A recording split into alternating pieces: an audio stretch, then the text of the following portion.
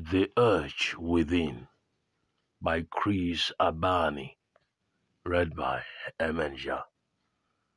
A train travels through an endless Midwestern cornfield. Yellow slants to gold as the sun leans heavy on the horizon. Nostalgia is a better name for this mendacious embroidery. This meager harvest of memory and hope.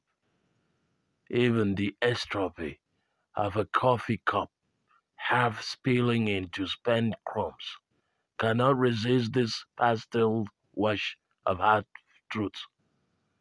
A sweet decline to have spent one's life thinking, I am the good one, the stable one, and the sustainer of love.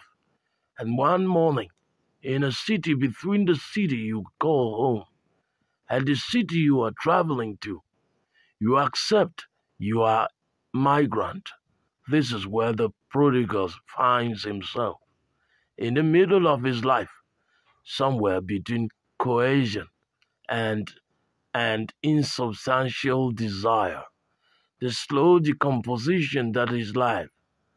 Yet, for now, this is half light, the gentle sway of the tracks, music enough for this journey, real and imagined.